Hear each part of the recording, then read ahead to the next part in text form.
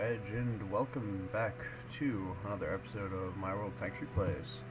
This time we'll be looking at my personal favorite T-49. I just love this thing.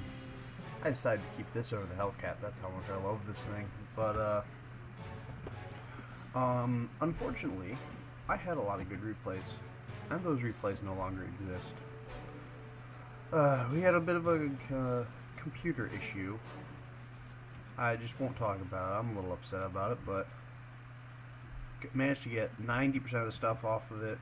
Did not get my replays off of it, so that really sucks. Let's go. Okay, in this game you'll see me utilizing about every aspect of this tank, except for maybe its camouflage value, which is extremely high, if you look at that profile. Um, now, what this tank is really underappreciated for is that gun. That gun is the M1A1 with 128 pen and 115 damage, but it fires every 2.8 seconds. So this thing is just an it has a fantastic DPM for a tier 5 tank destroyer. It's off the charts. And that's really what you just gotta use with this thing. So, starting off here, setting up on the side of the hill here. I'm not sure exactly why. Just trying to find some sort of good position. But uh, just sitting back in the tank shore position. Um, this game isn't particularly like I get a ton of kills. Well, yeah, this is not like this is I get a ton of kills or I do crap load of damage. This is a this is actually a fun game to watch once it gets to a certain point. Not very much at the moment, but as you see, it's too bad you guys can't see that reload timer, but that's 2.8 seconds those shots I was firing into that M3 Lee. So I'm, I'm here, I'm kind of thankful that this M2 medium is moving up.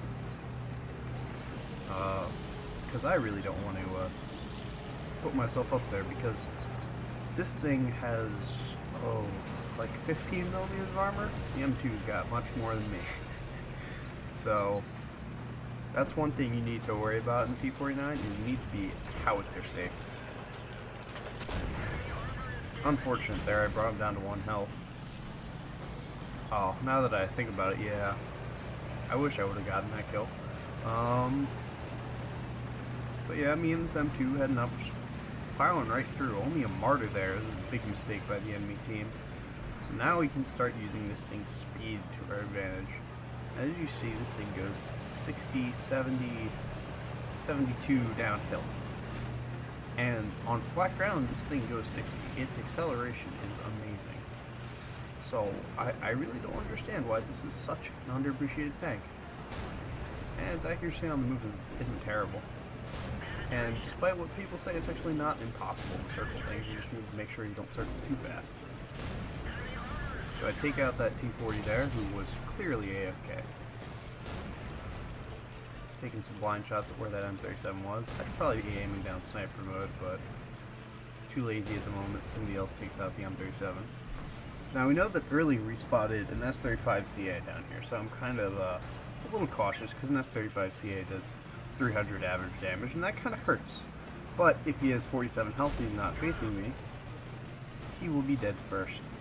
Um, so three kills so far, sitting back in their base, but I figure they've got a guy in their base. They wiped out their other side. It's better to go back than it is to cap ourselves. So here I am rushing back to base. It appears that they've got three on cap. So I need to get back there fairly quickly. That's not a problem as you see going 60, 61 consistently. Loaded premium rounds, not high explosive because they don't tend to do much, and there's an AT2. So, loading premium rounds here, just make sure I penetrate. Let's see, first I'm going to throw a shot into the BDR. I know I'm not going to be able to easily get a shot at the AT2, so I just I just quit on the AT2, back up, and just see if I can get that BDR down. If I can take out that BDR, he's the biggest threat in terms of his gun, so putting shots into the BDR. Take out the BDR first, then deal with the M4. M4 makes a stupid shot with his howitzer there, and this is where I'll take advantage of his rate of fire. and take him out as well. But I still have to hurt an AT-2. So, I load my one high explosive round and fling it up there for 15 damage. That's uh, 60 something base reset points. That's a really nice game. I hope you guys liked that. It was actually a much quicker game than I remember, but let's uh, watch the rest of this because it is fairly interesting. Let's see where I'm flipping over to. Panzer III, doing the smart thing, making the M8A1 come around the corner. Just, and if that M8A1 doesn't want to come around the corner, our team's perfectly okay with that because that M2 isn't going to bounce anything from an M8A1. So lucky that he didn't come around the corner until now, and we win. That was a very good game by the team, and just a great example of the T-49's flanking ability. Um, so I do have some screenshots, so let's go to those in a second.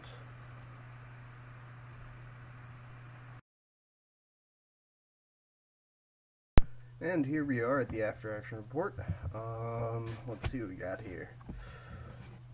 We've got 21,502 credits received without premium, as usual. I don't buy premium. Um, 863 experience. Like I said, not necessarily a very good damage game or a very good kill game or whatever you want to say. But a, it was a fun game to watch, and it was a and I got a nice defender medal there, which is a not one of the more common medals. Not very often do you have this uh, situation where you can get defender. Um, and let's see, 600 damage to that poor BDR G1B. I feel really bad for him. He just didn't know what is happening to him.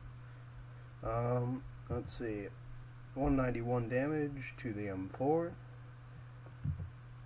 15 damage to the AT2 to reset all those defense, all those uh, points. That high explosive shell. Um, 47 damage to the S35 to finish him off. 276 to that M3 Lee. Again, I feel bad for the M3 Lee, but T40, 275 damage. I don't feel bad for him because he was AFK. And 128 to the Marder 2 when he had one health left. Uh, that would have been a Top Gun. But that's okay. Um, let's see what else we did. Oh, critical hits. Uh, knocked, knocked out his engine, then proceeded to destroy his engine. That was uh, not very nice for him. And injured the M3 Lee's driver. Um, so yes, let's move onward. Top of the team, 863 experience, like I said, 1,532 damage. I, yeah, this is not necessarily a top, like top-notch game or amazing stuff. It was just entertaining. I got Defender medal. I was going all over the place. So, um, detailed report: 23 shots fired, 18 hits, 17 penetrations. Um, I will say that is not even close to the amount of my record shots fired in the T49. I've run out of ammo in the T49 many times. Uh, five hits received, five penetrations if you if you receive a hit that's not penetration in the T49, I, I just don't know. that's almost impossible to do. Uh, three enemies spotted, seven damaged, and five destroyed. Uh, damage upon our spotting, 17, yeah. Um, base defense points, 118, more than enough for a defender. Uh, and traveled 2.23 kilometers in our nice little speedy T49. Um, so yeah, uh, we used our uh, premium uh, ammo there for cap resetting, killing that BDR. So only made 576 credits, but that's okay. Um, so overall, I really say that once you learn the T T4 T49, it's just such a fantastic tank, such an underappreciated tank. I think that uh, if you look at the stats on various websites, it'll say that T49 ranks the lowest of the Tier 5 tank destroyers, but that's just because people just don't know how to use it. Um, well, there you go. It has 21 millimeters of hull armor, so, and 25 millimeters of turret armor, so, yeah, but just avoid howitzers. Don't let your speed get to your head, and just use that gun's rate of fire. Holy crap. Um, on that, until next time, goodbye.